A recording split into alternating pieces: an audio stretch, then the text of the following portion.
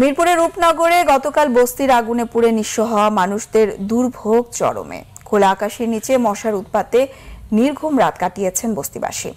পুনর্বাসনের মাধ্যমে তারা দ্রুত ফিরতে চান আপন ঠিকানায়। শাহাদাত হোসেন বাপির তোলা ছবিতে জাহাঙ্গীর আকন্দের রিপোর্ট।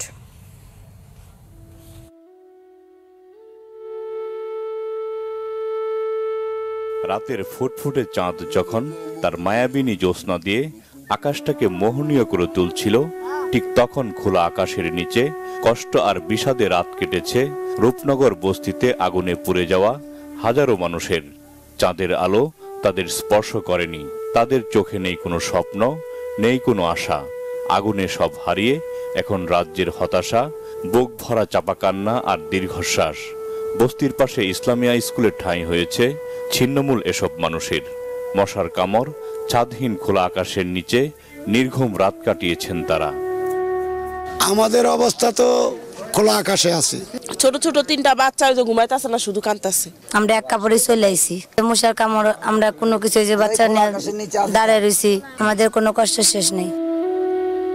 একদিন আগেও রূপনগর বস্তিতে ছিল আঙ্গুর বেগমের সাজানো সংসার।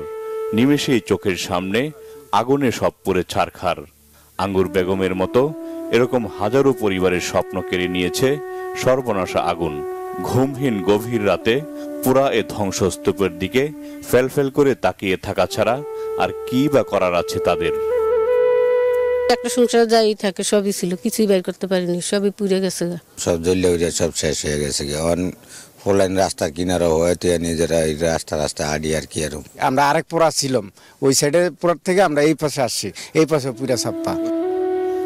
পোড়া এ ধ্বংসস্তূপ সরিয়ে বস্তিতে উঠবে আবারও নতুন ঘর তারা আবারও সাজাবে সংসার, এ আশা নিয়ে দিন গুনছে মিরপুরের রূপনগরের আগুনে পুড়ে সর্বস্ব হারা নিম্ন আয়ের এসব মানুষ। জাহাঙ্গীরাকন্দ আকন্দ বাংলা ভিশন, ঢাকা।